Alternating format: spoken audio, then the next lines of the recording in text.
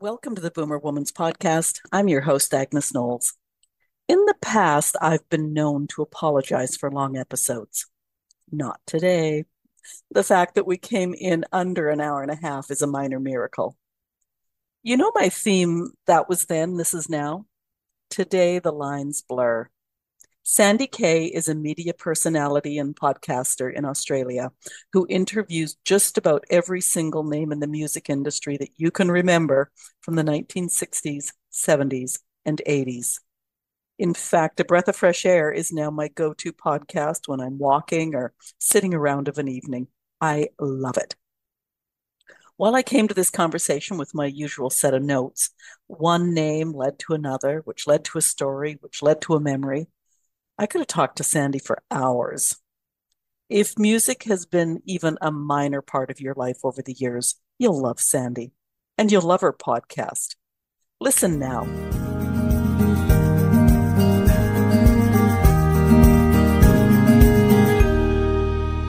Today's guest contacted me in November of 2023. And when I checked out her website, it was an instant yes, please be a guest on the Boomer Woman's podcast. I'm excited but also a little bit nervous. I don't want this to, I want this to be a really good conversation. I don't want it to seem like a gossip column. uh, Sandy Kaye hails from Australia. She's a freelance broadcaster, journalist, and producer who has spent more than 35 years on both sides of radio and television microphones. On her About page, she says, like most people, I'm really into the music I grew up with, the soundtrack of my life. I never seemed to grow past what I believe was the heyday of music. Of course, I'm talking about the 60s, 70s, and 80s when music exploded and musicians weren't afraid to try anything. These are the sounds that take me back to my youth. The blues and R&B speak to my soul. Pop and rock reminds me exactly where I was when I first heard the tunes.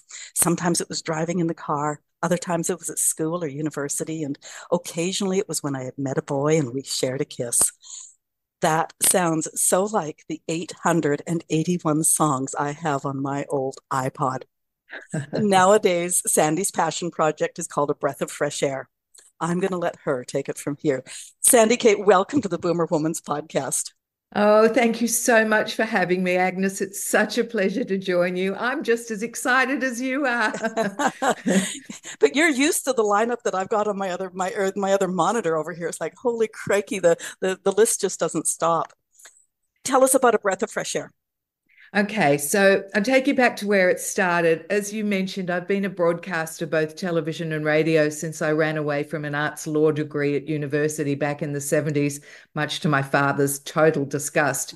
I wanted to be part of the media.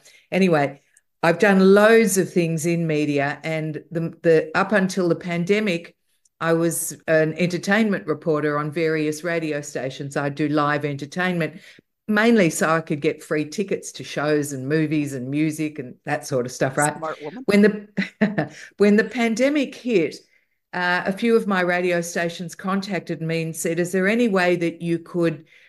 do what you do but blow it out to an hour so that we're filling up our slots because so many of the presenters didn't come in to do their shifts anymore so I said, okay, I was always up for a, a, bit of a challenge. And I started to produce a radio show on my little laptop.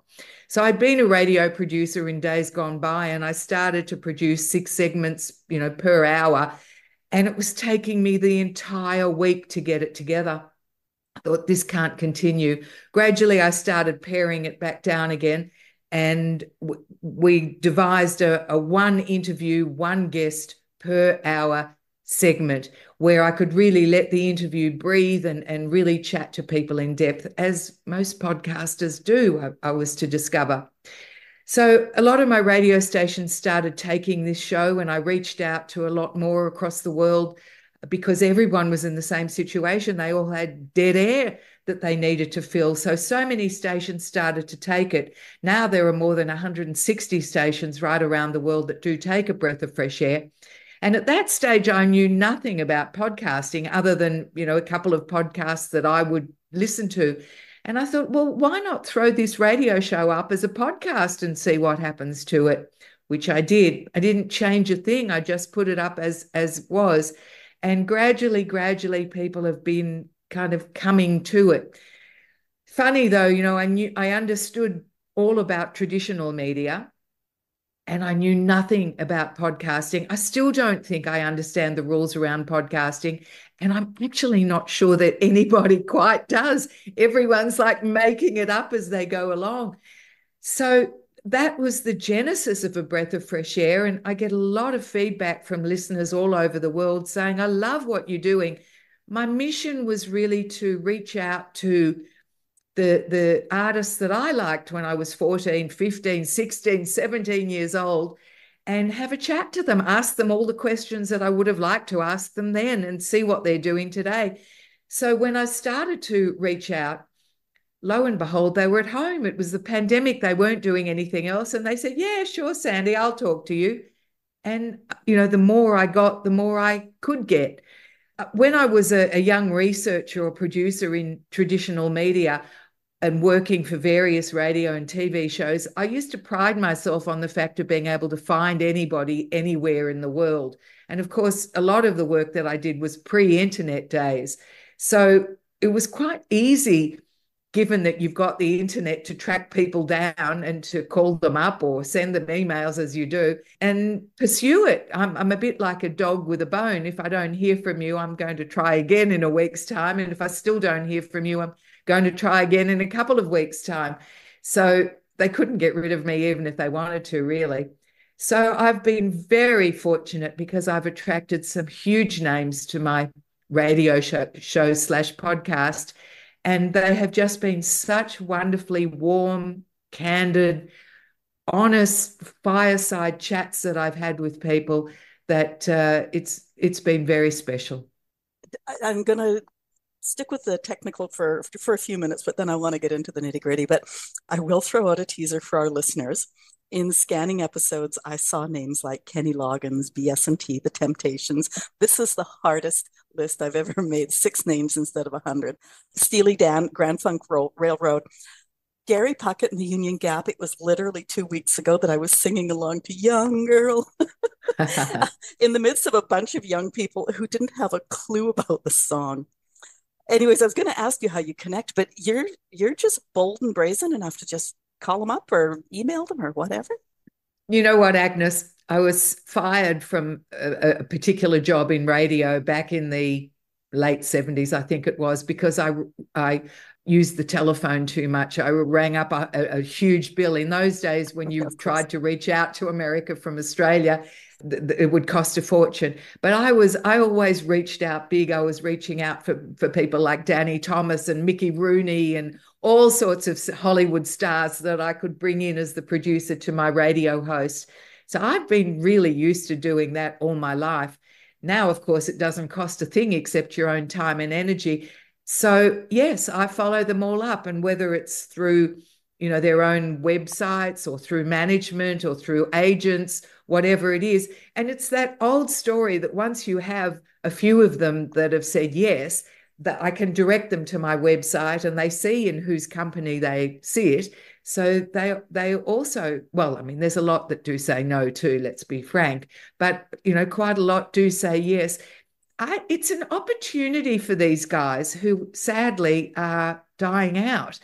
It's an opportunity for them to tell their own stories in their own words and the nature, of course, of, of a podcast is that it's evergreen. So, what I'm hoping, it's not like a radio interview that's here today, gone tomorrow, and it's not like a printed interview that you'd have to really dig to find what they had to say. It's in their own words, in their own voices that will last for generations to come. So I kind of maybe I kid myself foolishly that I'm leaving a bit of a legacy behind where where future generations can go to you know hear what Gordon Lightfoot says about Gordon Lightfoot now that he's he's left us. Uh, there are so many already up there that have gone, and I'm sure there'll be many more, unfortunately.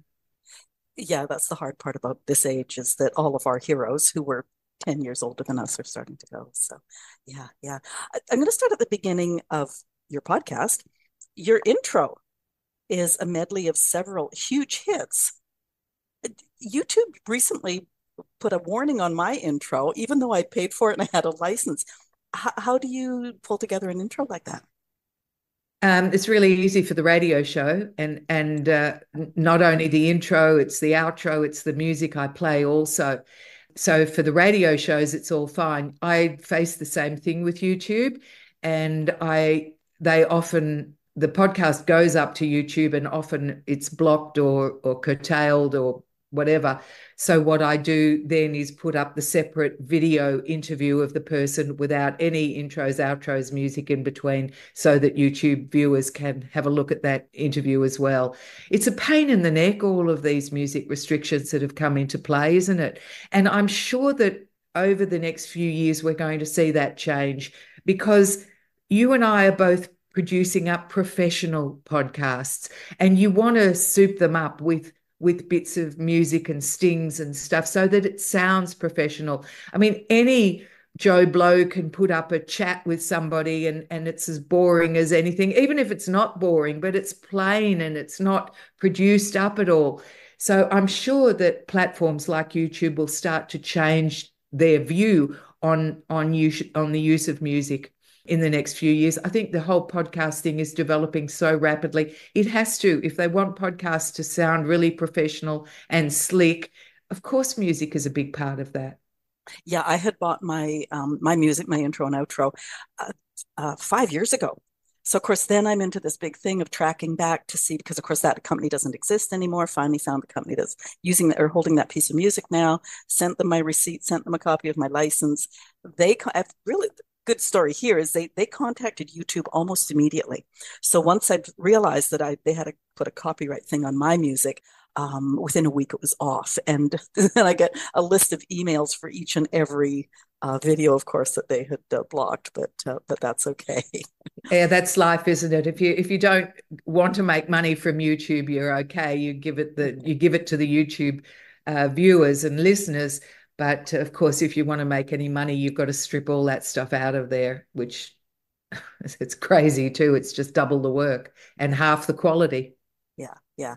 Now you started with Paul Williams. That's pretty auspicious.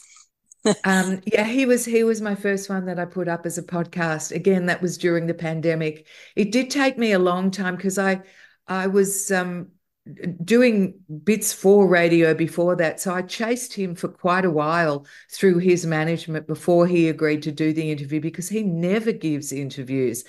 And I felt very, very special that that he had agreed to talk to me. And so I should have. His chat, he was just the most forthcoming man who was so happy to open up about all of his drunken, disorderly days and how he'd been so many years sober and how he had reinvented himself and was giving back to his community in, in the form of being an alcohol counselor, alcohol and drug counselor himself. So he sits with groups and and and counsels people, not as Paul Williams the artist, but as Paul Williams the alcoholic or the recovering alcoholic a very, very special and, as you well know, incredibly talented person. Very underrated, I think, in my opinion, and and I think in a lot of people's opinion, a very special, very special chat that was. I loved him, yeah. uh, and I had loved his music. I remember as a 12, 13, 14 year old, I loved all of his music so much. Yeah. Well, I found it interesting with with your interviews, and obviously I haven't listened to all of them yet. That's coming because I walk every afternoon. But I mean, we all know, for example, with Paul Williams, we all know an old fashioned love song. We know a lot of those Carpenters hits that they sang of his, but things like I didn't know that he also wrote Barbra Streisand's Evergreen. Yeah, now he did. Do you know all that because of your career, or do you do a lot of research as well? No, I do a whole lot of research. I can't go on and talk to anybody except you without doing. I've done my research. research on you. Trust me. well, you can't. I mean, any professional interviewer has to know who you're talking to. The guiding rule of interviewing is you only ask questions that you know the answers to. so I do do a fair bit of research on the person that I chat to. Otherwise, you get stuck. And uh, I mean, your best questions, you can have a list of questions, but your best questions always come from the la- from the last answer that the person gave you. So you follow on from there. But yes, I, I only knew that in research. I hadn't known that growing up. There's a lot of things that I'm learning that I didn't know as a teenager when I was writing to this music, also about these artists. But it's such fun discovering. And you know what, Agnes is the best, well, one of the best parts of it is as a teenager, holding all of these artists in such high esteem. You think that they, well, we thought that they were like super gods. We had their posters on our walls and, and records. We, we cuddled every night and, you know, touched and read everything we could about them. They were like superhumans. And now, as I as I chat to them, and as you said, there most of them are really only about 10 years older than we are, which at the time seemed like a, you know, like a lifetime older than you and I. They're really just ordinary people who have been given a, a, a talent, and we've all been given a superpower of some kind. The music or the writing of songs, the playing of songs, whatever, is their super talent. And they're they're they're not they're not such superhuman beings. I think probably they might have thought they were superhuman in the days when when they were on top of their game and and they were being treated as such when they were flying around in private planes and imbibing in lots of different things that they shouldn't have been. But today, you know, in the, and most of them are in their 70s, some in their 80s, they're regular everyday people who you know, eat breakfast the same way you and I do and go out for a walk the same way that you and I do. I mean, you, you mentioned Kenny Loggins before. And my interview with Kenny Loggins took me in some strange directions because I found out that during the pandemic, he and his latest wife uh, had bought themselves e bikes and spent a lot of their time pedaling around Los Angeles looking for the best donut in LA. It's like, that's not something I knew or had set out to find out about him. But you know that's pretty ordinary stuff. And then when when he decided that the the donuts were starting to show on his waist they started playing pickleball the two of them. They're ordinary people like you and i just perhaps with a little more money up their sleeves. One more technical question just you mentioned kenny loggins are you focused on him how much editing does your person have to do? Because I can't imagine getting someone like Bruce Cockburn or Judy Collins on the line and going like, "Oh yeah, well we've got you know like half an hour to talk." It's like I just want to let them go and have the conversation and then worry about it later. But how how long I do, are some I do do that. Well, they're they're starting to get longer and longer. I have to say, it took me a while until I started to pay Zoom uh, to go beyond the thirty minutes uh, when I was producing it up as a as a radio show with six segments, I was cutting everybody up to about ten minute segments. So from from the 30 minute zoom conversation 10 minutes was ample. Unfortunately i should never have done that. I should have gone the whole hour or more and i'd have a lot more material for some of the early ones now. But now some of them are going an hour, an hour 15 to cut up into my shows run 52 minutes exactly every week because they are also a radio show. So I cut them into three segments or one whole 52. I have to cut quite a lot out of them.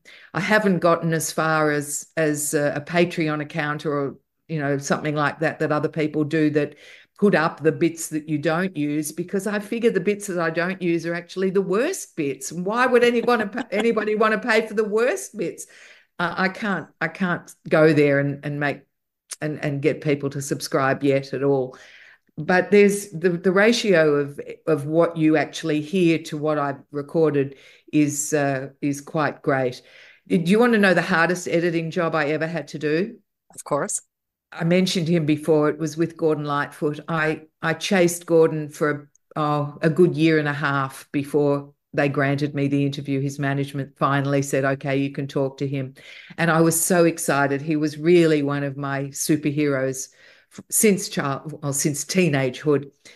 And when I got Gordon Lightfoot onto the phone because he he couldn't do Zoom, he could only do the phone. And it's it's not as you would well know it's not as personal to talk to someone on the phone as as on zoom and you keep talking over each other.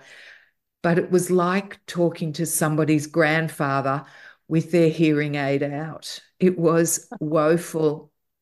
And it was i couldn't control it very well because it was on the phone. It was the worst the most difficult edit job i've ever had to do to to make it sound completely coherent. And he was um, so candid with you. I listened to that one. He he was, wasn't he? He really went, and there were parts there that I couldn't actually use because he talks about an ex-wife, and and then he says to me afterwards, "Oh, and I look sorry, I shouldn't have said anything about her. Please don't use that bit." So I didn't. Uh, of course, I didn't. If he says don't, but he he was. He really got. He really bared his soul. I thought to me, he was really honest, and we talked for quite a while. I was devastated when Gordon Lightfoot left us, although I'd had a heads up that that was what was coming. My friend Dan Hill had tell had told me what state Gordon was in before he went.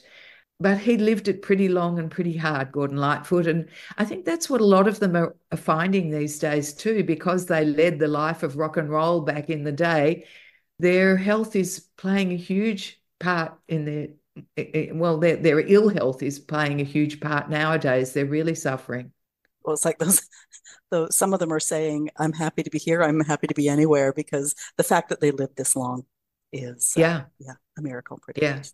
absolutely. Um, if people abuse themselves like that, that's what they've got to expect, and that's another thing that I'm hoping future generations can hear and learn from mm. was the abuse that these guys went through and and and what the consequences of it has have been now in their 70s and 80s although they say that young people don't learn from our mistakes they have to go through same. But i guess you know any any advice perhaps if as parents we can't teach our children but perhaps with musical icons um, sort of professing the same maybe young people will listen a little bit more who knows well, I don't know what it's like in Australia, but up here in on Western Canada, non-alcoholic bars are becoming a really big thing oh, because oh, really? a lot of younger people are just saying, "Meh, can't be bothered." So yeah, there's there's a lot of hope for them. so. Wow, I don't think we have them yet. That's a really interesting concept. So I, I love the sound of that because unless people do go to a bar and drink, where are they going to meet one another and and find new friends other than online? And that, that that's the option isn't it? That's yeah, fabulous. Yeah. and so a lot of bartenders now whereas they used to experiment to try to make the next great cocktail they're now experimenting to make the next great mocktail. Yeah it's it's huge out here. Really? They're yeah. really they're really well attended are they? Yeah yeah. As i say some of them so, are just only only non-alcoholics wow. So young people are actually discovering that they can have a great time without alcohol. Prefer i like to. it. Yeah. i like it a lot. That's awesome. I now, might suggest that here. Oh there you go. There's another business for you. Yeah. Now in some of your interviews you say the last time i talked to you so tell us a little bit about your past career because you must have had some interesting careers as well as getting fired from that radio station. well, yes, I, I certainly have had. Um, as I mentioned, I, I was Sydney, Australia's first female newsreader on radio back in the days when female voices weren't allowed to be on the air at all. The, the, the guys would all say that the female voice is much too squeaky and it's not allowed to, to be on air other than a traffic reporter on radio. And of course, these days it's all females everywhere. That big male booming voice on radio is is in, in the minority now. I um, went to well while I was working as a researcher and then a producer for radio stations. Being part of a radio station in those days meant that any rock and roll band that was coming to town, you got to meet. So whether it was John Mellencamp or John Waite or or um, you know the monkey. Well, no, actually, I wasn't working when the Monkees came to town. That I was a bit too young for that. I can't even recall. But whoever came to town, you got to meet and and you got to interview as well. And as my career progressed, and I started doing much more television, and I was doing current affairs and uh, entertainment television, I was doing lots of interviews too. I was also the person on the ground here in Australia for American television shows like Extra and Inside Edition. I don't know if you have them in Canada, but when they needed interviews with either Australian artists or American artists that happened to be visiting Australia, I was the one that had to go and get them. So, you know, chatting with people like Baz Luhrmann, who who just recently did the Elvis film, or uh, Russell Crowe or um, Keith Urban, some of our better known Australian artists, I'd have to go and chat to them, or more recently, there was uh, I can't even remember her name from from um, Desperate Housewives. Uh, I can't remember her name, but I was the one sent to have a chat to her. So yes, I I did chat with many of them, but I'd also done uh, interviews that I'd pre-recorded and and used when I was just doing entertainment on radio. So anybody that was touring Australia, I'd do a quick, you know, five minute interview with and put it up as a, a little grab through my social media and on on the radio stations that I reported into. So you mentioned Gary Puckett and the Union Gap. I mean, they'd come to Australia pre-COVID, and I had a chat with with him. So where I where I say I've you know good talking to you again, it's sometimes that I've met them a few years ago, but it's also I find that it's even though I've only been doing these podcasts for three years, I'm already coming full circle. Some of them are coming back here again. So, for instance, I think I've got another interview with Gary Puckett that hasn't been played out yet that I'm holding back. Uh, and I probably say to him, I've spoken to you again, or one with Walter Trout that is uh, just going to air now, where I spoke to him pre pandemic and got his life story then. And he's about to tour Australia. So we've had another chat. Um, the ones that, of course, that that come here, they're easy to get hold of because the publicist wants you to chat with them. They're not then so happy with me if I hold them back. I've got about, oh, I don't know, a good six to nine months of of back issues ready to to be edited to to be put to air still, and and it's always a bit of a challenge to decide who I'm going to cut for this week because I need to get the ones that that are a bit older that may uh, pass before they get to air, which would be terrible. I don't know if you remember. I mean, in Australia, we grew up with all the music we had from the UK, from Canada, and from the States, as well as our local music. I, I did you get the same? Did you get your local music as well? Of course, from America. Did you get the UK music come through Canada as well? Oh, absolutely. Yeah, yeah. The, the so you were you were that's right. You were pretty much the same as we. We got it all. Yeah. I mean, the, the, the UK got didn't get as much American stuff. They had their own, and they certainly didn't take music from Canada or, or Australia very much at all. And the same with the States. It took people like Bruce Cockburn and Gordon Lightfoot, for that matter, so long to crack the US market. But given that we had it all, we were so influenced by so much of the music that was coming through. And uh, we had access to to everything. It was it was fabulous actually. We thought we were very far away from where the music was being made but in some ways we were lucky because our radio stations took from everywhere. And it took australian music a long time to come of age before they could feel confident enough to start writing about australia. And uh, it wasn't really until the late 70s where they started writing about Australian culture and it started to become accepted in the in the UK and the US and of course Canada was much more receptive to our music as we were more towards yours too. We've always kind of paralleled each other. Well, I think except in Canada, a lot of our big name musicians for the last number of decades, they have to make it big elsewhere. They don't get the respect they they deserve in Canada. You know, same so, here. This yeah. the same. They, everyone wants to go to the to the states to yeah. that's where well that's where the audience really is isn't it talking about canadian artists and one i haven't put to air yet i had a lovely chat with andy kim the other the other week he was fabulous and i there was a lot i didn't know about him that i'm very excited to bring to our audience you've got some great artists there that and uh, burton cummings from the guess who I haven't put him up yet either. Um, I'm waiting. What a lovely man he is and as I said, so humble and so down to earth. It's it's just lovely to discover that with each one of these. I think that's the that's the thread that runs through them all. I haven't really met one that that is too high and mighty, or they're really all very down to earth and lovely people. You may be are noticing too something that I noticed just a week or so ago.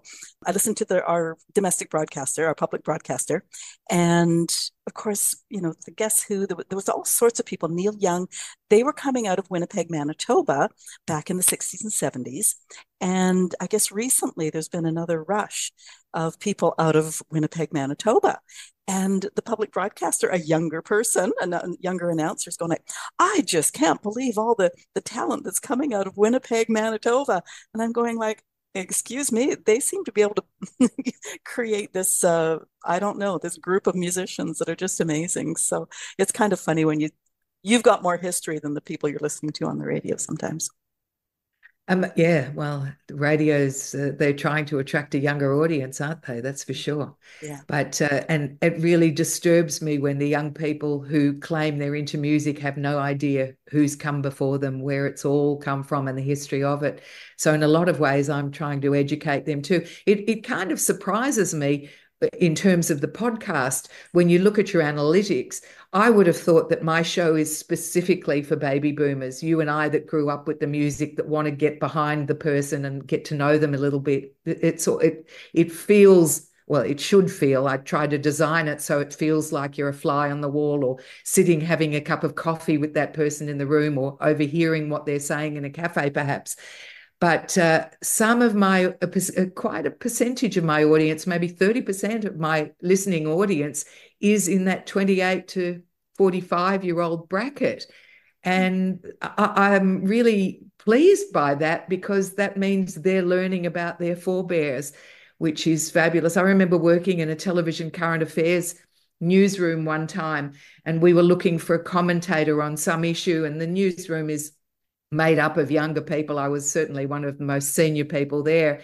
And we're trying to kind of think about who would be able to commentate on this particular issue. And I suggested somebody, and they all looked at me blankly and said, Who's that? And I said, Oh my God. I mean, he's this incredibly well known journalist for the last 50 years in this country. How do you not know that as young journalists? You know? And they had no idea. I mean, painters know there who came before them. They know the artists of, of note. Musicians certainly know who's come before them and know the history of the music that they're playing. How could these young journalists not know that who who really would have and should have been their mentors? I was shocked. Okay, speaking of shocked, and we seem to keep on going back to Gary Puckett. You said something that surprised me that he is still touring. Now, I, I didn't have a clue about that do you ever have people maybe even come to Australia and you go like, oh, they're still around. And and they're still popular, I guess, amongst their basic fan base, but they maybe don't have the global popularity that they did when they were the first the first time around. There are lots that come here. There are there's I mean, there's this whole genre called heritage touring now, and I'm sure you're aware of the the tours that people like the Turtles do and the romantics and and bad company and badfinger all, all of those guys there are a lot of them that still do tour. What's it called? The I can't remember the name of the hits uh, the tour that the people like the turtles go on but they're very popular. And what's become incredibly popular are these rock cruises.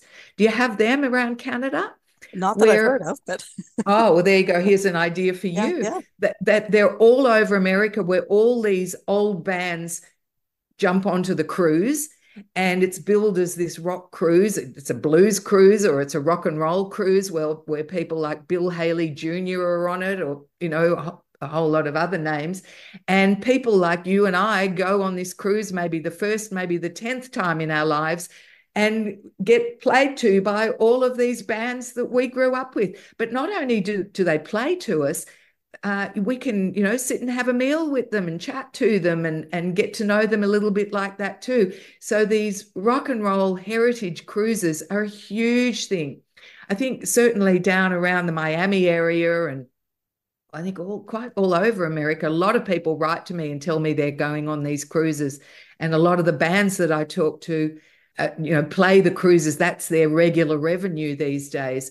Uh, there was a guy called Toby Bow. I don't know if you've heard of him. I can't even remember the band he played with, but he was like hopping on the cruise, and he'd be. That's how he makes his money these days. So there, a lot of these old musicians are finding.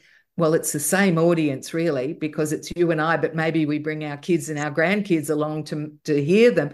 They're playing just as well, if not better, these days than they did in the day uh, but they found a whole new way of making money. Many of them are telling me that that touring to Australia is just too far. They're not going to fly that far anymore. Their health is no good, so they're not willing to take a long flight.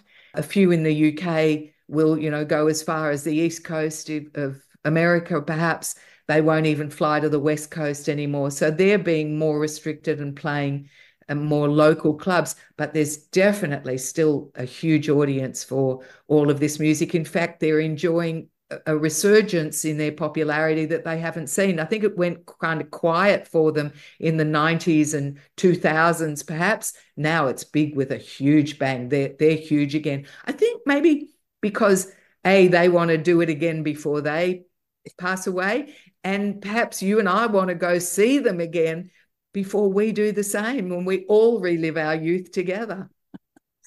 Well, I wonder too, uh, you're just talking about the demographic that, or that 30% demographic that does listen to your podcast is all, I have three kids. They're getting, they're all in their late 30s. They can sing along to all those hits because oh, that really? was my playlist when they were little. So uh, yeah, so they quite enjoy when a song comes on. They still sing along, even though they've got their own you know dem- music right now yeah but, uh, yeah it's kind of fun just listening so maybe yeah well it's it's all those kids there that that stumble across my podcast that I kind of want to go tell your parents about right. this podcast because nobody knows. And once I, have never heard anybody who's who's listened to any of the interviews of mine who've said, "Oh no, that was terrible. What a waste of time it was to hear them." If there's a favorite artist that that you have actually, and what I do, Agnes, is for anybody well, for anybody listening now and for anybody who does tune into my podcast generally, they can write me and say, I haven't heard from this person for a long time. I'd really like to hear them from them. Could you track them down for me? And then when uh, of course that's what I'll do that's my my biggest pleasure is to find the person that you want to hear from. But also if you'd like, I'll put you on the air with with that person. So you can actually say hi to that to that musical star too. I had a fabulous chat with Don, dennis Locorriere talk about not knowing how to pronounce names from dr hook. And he was the most wonderful person. I know i keep saying everybody is the most wonderful person but he was really fabulous. And there was a lady in sydney here in australia who had requested him so I got her on the line and she turned into a giggling 15 year old. Also, oh, Dennis, I remember when you did this and that. And I love this song. And can you tell me why, why you did it like this? And all sorts of questions she had. So that's just my greatest pleasure to be able to hook up a listener with an artist. And of course, the artist doesn't mind at all. And the listener just gets such a kick out of saying hi to their favorite person. It's terrific. and maybe brings it all right down to the listeners level in terms of like the listeners plural the, oh that could be me or who would i like to to talk to just yeah. for that three minutes or whatever yeah. who, who would you like to talk to agnes well Is it's funny somebody? as you were as you were saying that i'm thinking oh man all of my favorites are gone like you know the really my heart throbs you know the ones of the you know george harrison and okay i'll admit it elvis presley you know, there's there's so many that are gone that uh, yeah, it's it's kind well, of sad. I can't help you with those, unfortunately. You'll have to help yourself when the time comes and find well, and, them and on even, the other side. Know, Chuck threw me over for a younger woman all those years ago, and now he's married to Camilla. So I mean, I'm I'm hooped. Yeah, there you go. I think he I think he did you a favor, Agnes, yeah. personally. But you know, one that I I I really tried talking about teenage heartthrobs. I was a little bit young for him. He was before my time, but I certainly remember how huge he was in the day. And I'm talking about Bobby Sherman. I was wondering uh, about that. Yeah, I saw his picture on your uh, thing. Yeah. Oh my lord, I chased that man through his new bride for a good two years. I was relentless until one day, to the greatest surprise of mine, she finally, she, not he, he was willing yeah. the whole way. She finally said, okay, you can talk to him, but you can do it via Zoom, but you can't have the camera on.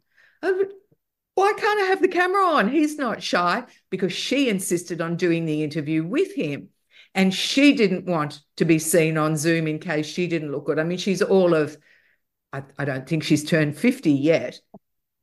But anyway, I was I was pleased. I got him on the line, and the first thing I said to him is, "Bobby, can't you turn the camera on?" And she said, "Oh no, we're not camera ready. We're not camera ready." And he says, "I'm camera ready." And she said, "Well, I'm not camera ready, and you're not having the camera on." So we didn't get the camera on because we know who wears the pants in that family.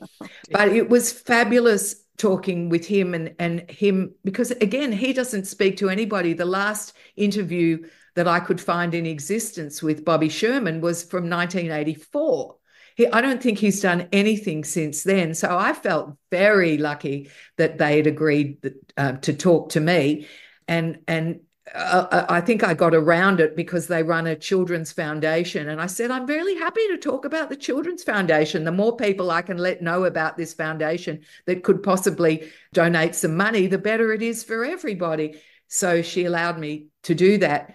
But it was terrific talking about him being the pin-up boy of, of all the girls' walls. You know, I mean, I think you and I come from the David Cassidy pin-ups or the Monkees pin-ups on our walls rather than Bobby Sherman. Well, no, uh, I Bobby Sherman's dimples, I will admit.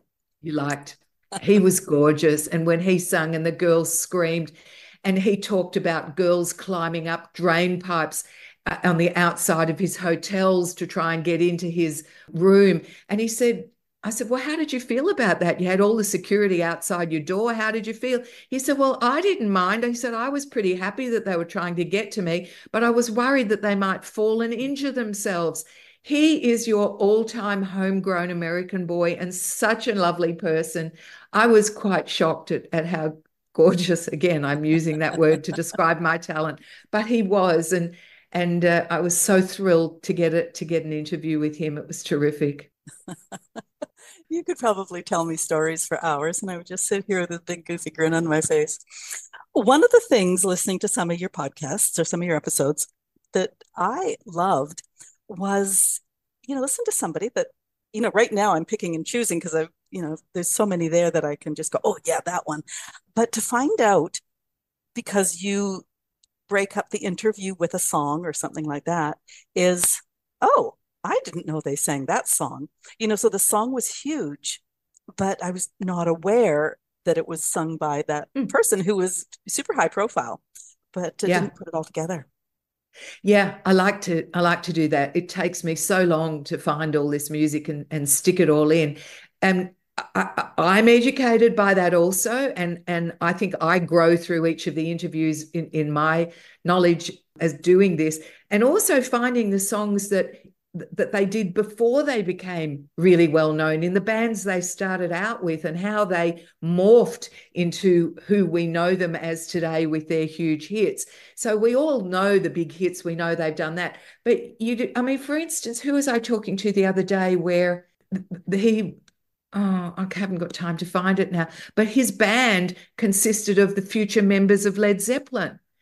Um, and I can't remember who it was. And I never knew that. Oh, it was Donovan, Donovan Leitch. Of course it was. Donovan Leitch, when he did Mellow Yellow and Sunshine Superman and all those hits, there were members of Led Zeppelin playing that. I mean, how do how does a Led Zeppelin get from being a studio band playing Mellow Yellow to playing all the Led Zeppelin songs. The journey is incredible. And actually, that's one band I'd still want to speak to. I haven't managed to talk to anyone from Led Zeppelin yet. I spoke to John Bonham's sister, who runs her own band, which is kind of a Led Zeppelin sounding thing. But um, I, I love their journeys. I just love where they started from as children. And most of them it, it, it's actually interesting too. None of them tell me they started playing an instrument when they were 25 or 40 or getting interested in music then. They've all been interested in music since they were children, many of them fostered by their parents' love of music. Many of them just had music around the house as, as your kids did, and, and their love for music grew as a result. Some of them sang in church choirs. A lot of the black artists, that's where they got their musicality from and grew from there. Um, but they and the ones who play instruments started when they were five years old or 11 years old. And I, I find it incredible that to develop a talent to where you're the best in the in the scene takes you playing from 11 and having all that passion right up to where you kind of break through in your in your you know 20s 30s whatever. Actually most of them did break through in their 20s too because that was the heyday that as we started off by saying was the explosion of music when it all started to happen and, and they all kind of got their break then and have and are still doing it now in their 70s and 80s most of them never for a minute considered that this would be their lifelong career ever it was just their passion their hobby. They didn't they dropped out of university or, or even school to follow their passion. Sometimes their parents said yeah fine no worries go with your passion. Sometimes their parents were really angry and and uh, disowned them as a result but they all followed their passion.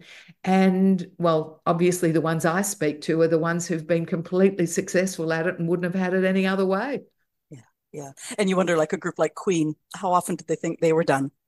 And and every every six months i'd say they were ready to pack it in and uh, that's right. And then it just kept going and going and going. I mean elton john he also he he he, he never considered that that was going to be his career. And bernie taupin was really the making of of elton john uh, as was uh, Sonny Bono was the making of Cher. I just I spoke just the other week. I don't know if you had if you've had a chance to listen to Darlene Love, who was one of the greatest and earliest session singers of of all. She's been on more records than you can think of, more hits than than you could absolutely dream of. And she tells me the story because she just put out recently a Christmas song with Cher whom she befriended when Cher was 19 years old. And she said she met Cher in the studio. Phil Spector was doing a session in there. And Darlene was supposed to be singing in that session, but her car broke down. And Sonny Bono was one of the backup singers at the time. And she says, Oh, Sonny was the worst backup singer ever. He couldn't sing, he couldn't hold a tune at all. He wasn't, she wasn't sure how he ever got a job singing. But Sonny had come along that day with his girlfriend Cher and Darlene was delayed. So Phil Spector said, "Well, Sonny, you, your your girlfriend, you told me she could sing. Bring her up to the microphone. Let's see what she can do." So this 19-year-old Cher who'd never sung a note and was very shy by nature, stepped up to the microphone and started to sing. And Phil Spector started yelling at her, Get away, back off from the microphone. You're being too loud. You can't do it like that. In walks Darlene. And she heard Phil's abuse of Cher and started telling him off for screaming at this poor young girl. Well, as a result, Cher's career kicked off. Sonny started driving her whole career. The rest we we all know is history. But Charlotte, uh, Darlene's friendship with Cher has lasted 60 years because she stuck up for young Cher then. And this past Christmas, Cher called Darlene, and says, I want to put that Christmas song of yours onto my latest album. And uh, their friendship continues. As a result, Darlene is back on top of the charts again. Amazing. I thought saw Cher interviewed on uh, Graham Norton out of England um, just recently, and it was uh, oh my god, yeah, she's just nonstop. But um, yeah. yeah, one of the stories that I I love hearing or having heard, um, Norah Jones was doing a song in studio recording and they decided it would really pop if they had just somebody doing a little backup thing. And i think it was like a saturday afternoon or something. No nobody was in the studio except for dolly parton. So here's this and at the time no name pretty much Norah jones and she's got dolly parton as backup you know so things like that. It's uh, yeah it's great. Good story isn't it uh, she's she's on my bucket list dolly parton. I'd certainly like to talk to her. But another one that's got dolly parton in, a, in an album that's about to be released comes from Artimus Pyle who was the drummer for Lynyrd Skynyrd and he survived the plane crash in 1978 when when half the band was killed and Ronnie Van Zant who was the front man there.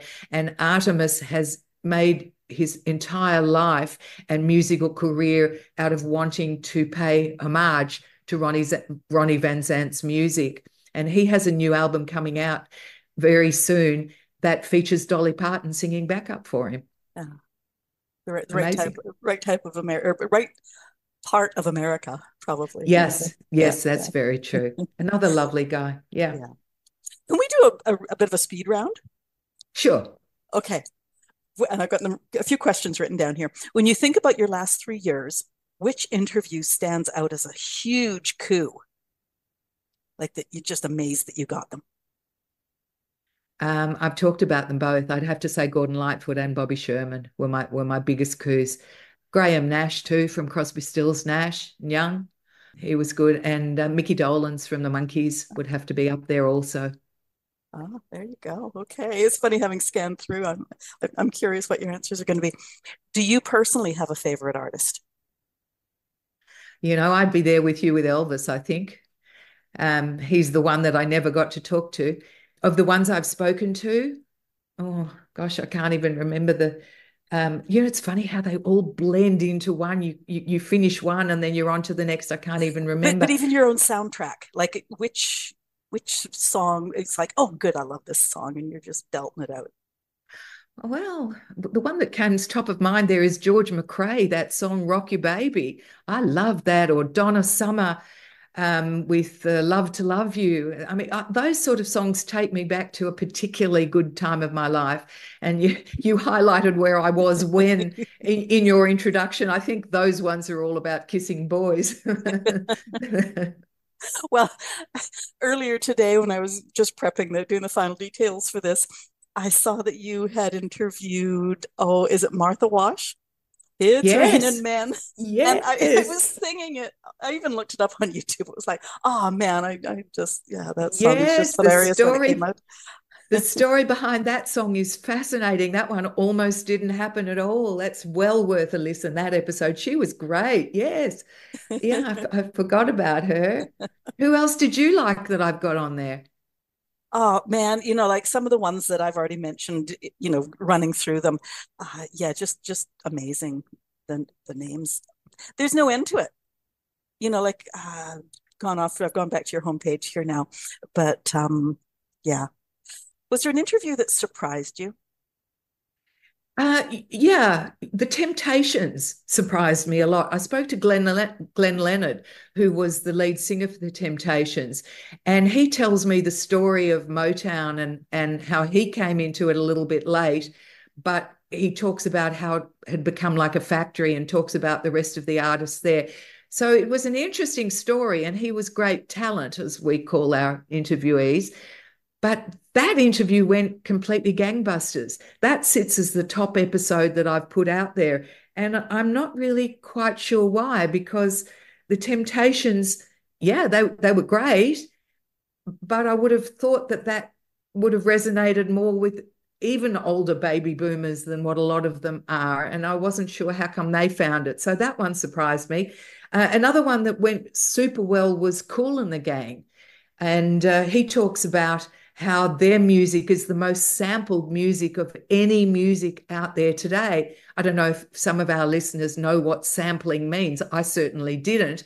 Sampling is when an artist borrows a riff or a line or a part of, of the original tune. These days, when they sample something, they actually have to pay for it. In the old days, a lot of the 70s musicians talk about borrowing or just downright stealing bits that they like from other people's music and they never paid for anything they just used it hence there were a few lawsuits that did go through as a result but Kool and the gang's interview comes up as my number two most uh, popular episode and that's to me is like a whole different demographic than the temptations another one Creedence Clearwater Revival. I spoke to the drummer, Doug Cosmo Clifford. He was super interesting. And uh, what what was I mean, that went really well also. But Cosmo Clifford's got Parkinson's disease.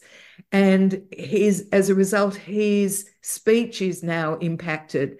There won't be too many more interviews with Cosmo Clifford about Creedence and what goes on there. And he doesn't hesitate to put the to put the kibosh on uh, John Fogerty. I have to tell you, he talks very candidly about how he feels about John Fogerty. Um, some of the lesser known ones Sanford Townsend's Johnny Townsend, he went really well. That that surprised me too. One that didn't surprise me, and I've just redone, is um, Lee Loughnane, one of the original founding members from Chicago, the band. He tells a fabulous story, and the the number of Chicago fans that are still out there today, yeah. that surprises me. They've got millions of followers today. That the band has been constantly on the road for 56 years, even during the pandemic, and the, although the lineup has changed several times over, there are still three original members who have managed to maintain their families. Uh, they've kept them intact through all those years. And the fan base has only grown over the years. They blew me away with all of their stuff. Bruce Cockburn was another one too. You know, when I said to my partner, I'm talking to Bruce Cockburn here in Australia, he said, Who? I said, What, you don't know Bruce Cockburn? He's huge obviously a lot of people do know and love Bruce Cockburn because he's done fabulously. And he was he you're probably well aware that Bruce Cockburn is so intellectually smart.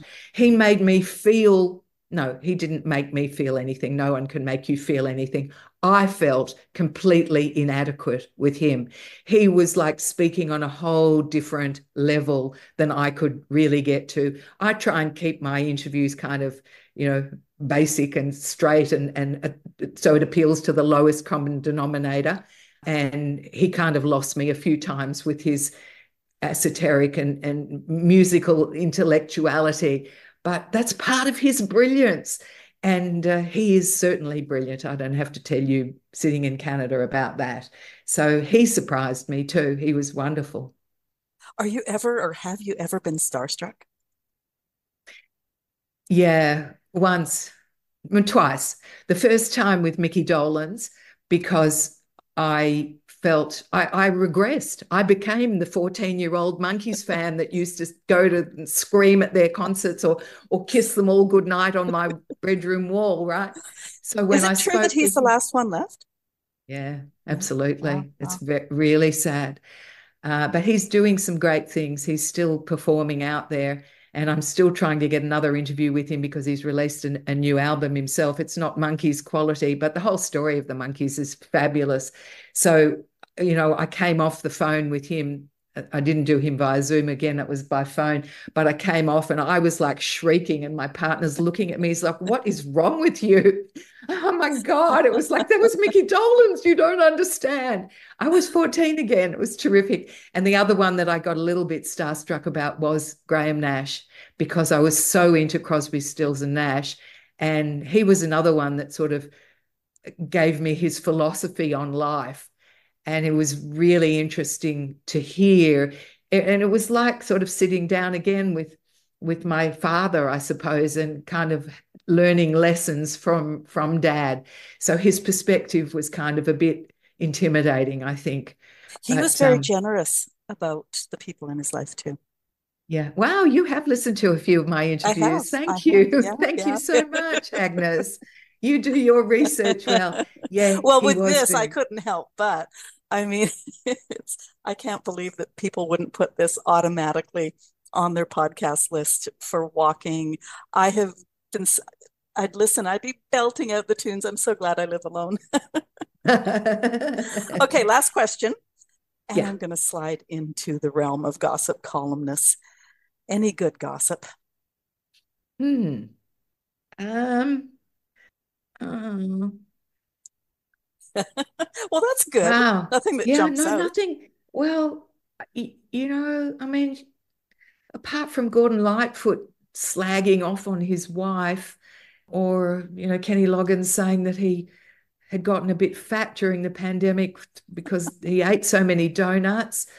Or, yeah, but we all um, identify um, with that. One. Well, there was a, the drummer of the drummer of um, T Rex. Did you know T Rex? Marc Bolan and T Rex in in in in uh, Canada? No, I don't think so. Oh well, he talked about how you know he's whole he doesn't remember much of the 70s and 80s because he was on so many drugs and he spent a lot of time with prostitutes and he actually married one and had a child with one and he he was so rude about her in a kind of funny way that on YouTube, friends of hers got on and were really angry about how he could talk so badly about this woman. you know, I apologize, but I mean, he, I think he'd done it in a, in, he wasn't trying to be mean about her. He was just being honest from his point of view. Um, no, I, I don't kind of get down into the weeds with them in terms of, of gossip.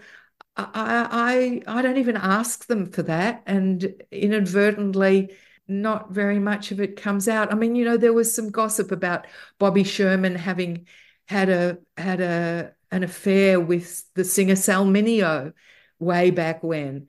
And you know, many girls who were into Bobby Sherman probably wouldn't want to know that he may have been bisexual in the day. I didn't go there with him with, with that. It it you know, people had written in, I don't want to know about that. I don't want to embarrass them or talk about things that they don't want to talk about. I just want to know about their lives and their music and and the honest sort of real side of it. No. So Agnes, I can't tell you. I can't be the bearer of any gossip, I'm afraid. I'll, I'll fill this in then, just in terms of gossip, as in a scoop. So you've already told us that Darlene Love is on Cher's Christmas album, so we'll take that as okay. Gotta go check that out. we'll just call oh. it a oh. scoop, not gossip. Can I and it's you... well worth listening to. Oh, good. Okay. Can I ask you a personal question? Of course. Uh, I got to read this. When you were about nine years old, as soon as your parents went out, you'd grab your mother's bud vase I grabbed my hairbrush. Now, I'd crank the tunes and sing along in full voice. You imagined interviewing the Beatles, the Monkees. I found that so interesting. Why the interviewer, not the diva? I don't know. I can't tell you the answer to that. I think if if my superpower was to be a journalist and a natural curiosity about people's lives, I guess that's when it first showed up. I I have no idea why. I was always intrigued and enamored with Dinah Shore. Do you remember her, the American TV interviewer? I was, you know, I, it must have been on the black and white television when I was five, six, seven years old. My parents must have watched it. And it was something about her chatting to all these stars that grabbed me rather than being one of these stars. Don't know. Don't know. I wanted to be Dinah Shore. And uh, when they went out on a Sunday afternoon, I could talk to whoever I wanted to. I, I ask myself now, how could they ever go out and leave me at home as a nine year old looking after my five year old brother? That's kind of weird. That would never happen today at Times all, would it? were different then. Absolutely. But I grew into that role of, of journalist. And when the media called me, you know, I, I, got the smell of a film studio very early because we used to do creative dance, and my neighbor's mother was the creative dance teacher, and she had a program on TV on the national broadcaster that was shown in all the state schools everywhere. And he and I would go every week and dance on television. And the next day we'd come and did you have theaterettes in your schools where the whole school would come and sit and watch the television? Oh, okay, so not television, no so we would all assemble and watch that for school's program the next day and there i was dancing on tv the you know the limousine had come and picked me up from school and dropped me back to school. So i was a really a little bit of a starlet in those days and the smell of film in those television studios got me. And when i started studying law we've come full circle here and it was so boring. I couldn't stand it. All i wanted to do was be in the media. I just knew i had to be in the media and I left and joined a radio station and you know as I said did traffic reports and news reading and researching producing hosting my own radio show. And it just hosting television shows and all sorts of different roles in television and radio. I knew I'd found my happy place and talking to people being on I much preferred being on behind the microphone rather than being in front of it although as a news and current affairs reporter, I had to do the hello and welcome to this, and this is what's happened today. But uh, I always preferred chatting to people and finding out about their lives. And I'm often accused of asking too many questions anyway, just in my daily life of people, because I'm genuinely interested in people's lives. Doesn't mean you have to be a music star. You can be anybody. I'd like to talk to you and find out who you are and what makes you tick. Everyone's got something in them to give that comes through in your voice on your podcast that sincerity of just you're in the moment with that one well however many people but with that one interview it really does come through. So that's thank that's you great. agnes. Thank you. Before we close any stories you love to tell and haven't? I don't think so. I think i've i've given you hang on let me check my list quickly to see who I've got that maybe I haven't spoken about. You're the kind uh, of person that, you know, we could probably do like five of these and I'll just pull out different interviews and say, okay, well, like, let's I'm very happy. Very happy to chat with you anytime you would like to. Um, and yeah, well, I mean, as I as I check my list, the stories that the people tell me certainly come to mind. Terry Jacks is one of yours, isn't he? He's yeah. a Canadian. He did Seasons in the Sun. That's wife. right. He's he's a unfortunately he's suffering very ill health also and couldn't speak to me. So his record company executive, because they've just re-released a whole new uh, set of Terry Jacks's best of. So I was I had been asked by a listener to track down Terry Jacks, which I managed to do, but he wasn't able to talk to me. And the record producer who had had put out the album spoke to me and told me all about Terry's life. So I never knew what an incredible environmentalist he was, how much he's done for the planet, and you know, as well as for music. That was he was quite amazing. I was going to mention the environment when you said about some of these big stars, you know, they don't want to fly as far or be in the air for as long because of, you know, their aging bodies. They're, they're maybe not yeah. such great health. But I'm finding more and more people, stars, are saying, no, we're not going to take our entire crew um, I think Neil Young is one of those, you know, and and put all that exhaust into the the air and everything else, and have all those people driving to our concerts and and that sort of stuff. So environmentalism is becoming pretty big amongst a number of every generation of of star. Yeah, I hear what you're saying, but if you're talking about Neil Young, it sounds like an excuse to me, um, because flying flying your crews not or not flying your crew if you're Neil Young is not going to make one iota of difference to the planet's environment at all. He'd be better off donating a whole lot of money to environmental research or something, and I'm not sure that he's ever done that.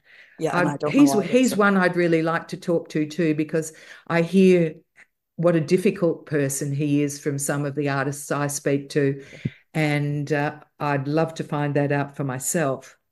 Um, go in, go in via. Isn't isn't it he that the one with all the cars, the old classic cars that he must not drive anymore? Neil Young is. Oh, I is he? Think, okay. I. Oh, I'm not oh, sure. It's one of those Winnipeg guys.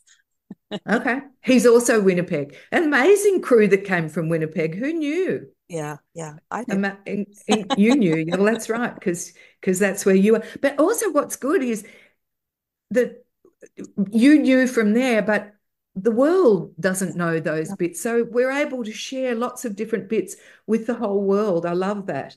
I spoke with um oh, Alan Clark from the Hollies. Do you remember the Hollies? Yes. UK yes. band. So he was wonderful too. He's lost his, the upper range of his vocal ability, mm. and he's put out a new album that he's written songs that only feature him down low now oh. instead of singing all those tunes up high. He was incredible to talk to too. He survived cancer, his wife survived cancer, his daughter survived cancer. So many of them have an amazing attitude towards life that you can learn so much from too and and help one get over one's injuries. I'm I'm digressing now too. No, I know no, you no. want to get No, no, no. I was just trying to remember. I had to look this up. Gerry from Gerry and the Pacemakers. I was trying to remember. Gerry Marsden Yes. He's yeah, he was one gone. Oh, is he? Yeah. Oh, okay. He's gone, that. unfortunately. Oh, okay. Randy Bachman was a terrific chap that I had too, talking about another. Is he Winnipeg too? Uh yeah, because he was guess who? Yeah, yeah. Yes, he's out here on the was. west coast now. He's on one of the islands out here. He's he's yes, that's right. I think he's on Vancouver Island, if I'm not wrong. He uh, yeah, is neighboring island. Yeah. Yeah. And his okay. son Tal. Yes, fabulous both of them wonderful musicians just so good i try and introduce people to some, some australian music as well people that they've never heard of yeah no for sure did you ever hear of george baker selection with little green bag did you ever have that song that came somewhere out of europe uh, we we had that one. It was huge here. Oh, the other one that was interesting to speak to was Ian Anderson from Jethro Tull. He was a bit oh intimidating. God. Well, it's interesting when I was scanning because oftentimes, like, I won't know the name, but because you say Little River Band's Graham Goble, is it? Right. Um, yep. It's like everybody knows Little River Band. I wouldn't have known the names in the band. So yeah. yeah. yeah. Noel Paul Spook Stookey from Peter Paul and Mary. Oh, okay. Wow, what a talent he is, and what a lovely old man he is. and Johnny Johnny Mathis, who was huge in the day, probably yeah. again before you and I he was another very difficult edit job to do. He's also suffering from something other than just old age. And what about, do you remember Mungo Jerry? Yes. Yeah. He's a very weird man. He would have to go down as being the weirdest person I've ever interviewed. You'll have to tune in. The other one was um, Sorry, go on. I, I was just going to ask. Speaking of this is going to go on forever. Sergio Mendes, How? No, no, this is fabulous. Sergio Mendes, How old would he be now? Sergio Mendes is also in his 80s. Yeah. And he is fabulous. He's so fit and healthy. The difference between some of them in their 80s and others yeah. is absolutely huge. Dion is 83 years old and keeps putting out new albums with with incredible collaborators, people like Bruce Springsteen and a whole host of different people. He is fit and healthy and vibrant at 83. He's an inspiration to everybody. Uh, Marty Wilde from the UK, another one who's in, in, incredible shape at 83. Some of them at 83, 85, not so good. Yeah. And then, you know, when they look so good, I want to know what what's your secret? How come you're in such terrific shape? what they do tell me is that they didn't never smoked, never took drugs, and never drank. Make and that seems to have made a huge difference. Or somebody like Dion, who's been sober for you know forty years or something, has given it up entirely. Keith Richards. He's another one that it's amazing that he's even that he's alive. still standing. Incredible, yeah, yeah. and yet he yeah. seems pretty strong and fine. And yeah, the rest yeah, of it. So. Yeah, one of my other favorites that I'm putting in now that I've just remembered is um, John Kay from Steppenwolf. okay. Magic Carpet Ride back from 1967. So again, you know, I was uh, a young girl back then, but that song had a big impact on me, and I tracked him down. And he's also another one who never does interviews and finally relented. And he told me his story about leaving war torn Europe with his mother and ending up in Canada before going to the States. And he's got a fascinating backstory to tell and amazing music that band made. Oh, there's so many there. And and as I said to you, there's about there's about 60 in the pipeline just waiting to be edited. I just need four hands, not two, and probably 48 hours in every day, not 24. And no life other than doing this. Yeah. It's a shame that you can't get paid much for doing podcasts, really, but it's a passion project. I'm not in it for the money. Yep. Um, I hear you. Thank goodness. Yeah. yeah. Yeah. It would probably have a different tone if uh, if we were in it for just for the money. So yeah, it's great fun though. We're very lucky to be able to do what we do and enjoy it so much as you do yours similarly. Yeah, I yeah, I, I love talking to my guests. They're they're fabulous. And people like you contact me and I go like, yes. well, anytime you want to talk to me again, Agnes, I'm yours. Oh, great. Okay where do we find you on the World Wide Web? Uh, the website address is simply a breath of fresh air.com.au. You have to put the AU in for Australia and a breath of fresh air as it's spelt all one word. And uh, on, as a podcast, it's on all major podcast platforms. Also, just type in a breath of fresh air. And I think, as you said, I love to go walking and listening to it as well, or driving in the car. Uh, I mean, generally, that's what podcasts are so good for when you're just doing the gardening or out there doing something on your own and you're in your own world. But uh, I'm so glad you enjoy it. And hopefully, a few of your listeners who've heard this chat will also tune into it. If, if you're young and uh, happening to be listening to this, please tell your parents. If you're old, well, not old, if you're older and listening, tell your kids. Well, for all those young people out there, don't tell your parents just yet. Go listen to a few episodes and wow them with how much you know about the people that they would sing along to and dance to before you were even around. so, and then they'll come. Good listen. call. Yeah, Great yeah. call. Now, are you internet radio as well? Um, it does go out, as I said, through about 165 radio stations, okay. uh, various stations across the world, online, terrestrial, a, a, whole bunch of them. Yes, if you were if you went into any of the uh, radio players and typed in a breath of fresh air, you will find it also no problem oh, at various times of the week or on call, whatever. Yes, it's yeah. it's very accessible, or hopefully becoming more and more accessible anyway. And I think when I scroll to the very bottom of this page, you're on social too. You're all over the place, Facebook. I, I am. I've got a terrific following of people on social media. And, you know, they say to spread the word about a podcast, you have to post on social media. I feel like I'm always preaching to the converted on my Facebook page. But if you're not a member, there's some great stuff up there. And that is Sandy Kaye Presents, K A Y E, presents A Breath of Fresh Air. Thank you for asking me, Agnes. You're an absolute gem. No, no. Website link is always in the show notes. I put all the links on your page at our website. So people just need to scroll down and they're all there if they want to check you out on Facebook or Instagram or whatever. Fabulous. Listeners, if you have thoughts on today's show, please talk to us.